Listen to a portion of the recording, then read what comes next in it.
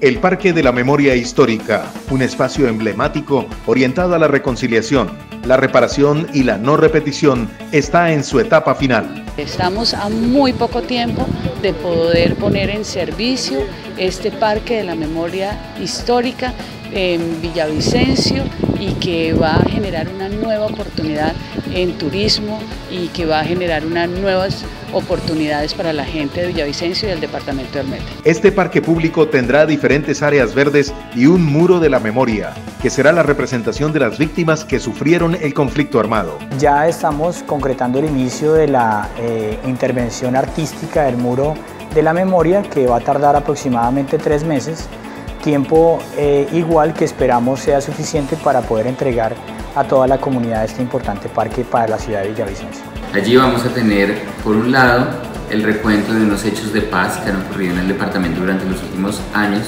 y también vamos a tener un recuento de algunos hechos de violencia que deseamos como sociedad no volver a repetir. Se espera que el 10 de diciembre el parque esté al servicio de la comunidad.